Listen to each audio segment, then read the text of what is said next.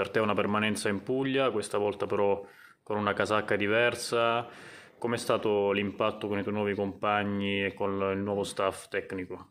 Molto positivo e giustamente hai detto bene, sono rimasto in Puglia in questo girone che secondo me è il più bello il più difficile di tutta la Serie D e comunque mi hanno accolto benissimo, la squadra la sto vedendo molto bene, i ragazzi con tanta voglia di lavorare, di fare bene, quella è la cosa più importante. Se dovessi porti un tuo obiettivo personale per questa stagione, quale sarebbe? Ovviamente di fare il, la massima quantità di gol possibili, ma sempre l'obiettivo principale è vincere e dare una mano alla squadra, poi i gol arriveranno. Il calcio straniero rispetto a quello italiano cosa ti ha dato?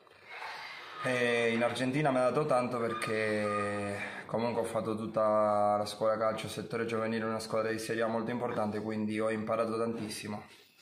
Però l'Italia anche ti ha dato una possibilità poi di certo, stabilizzare la tua carriera. Ovviamente sì, sì, sì, l'Italia mi ha aperto le porte quando in Argentina giustamente erano chiuse e sono molto grato all'Italia e qui sto cercando di fare sempre il meglio possibile.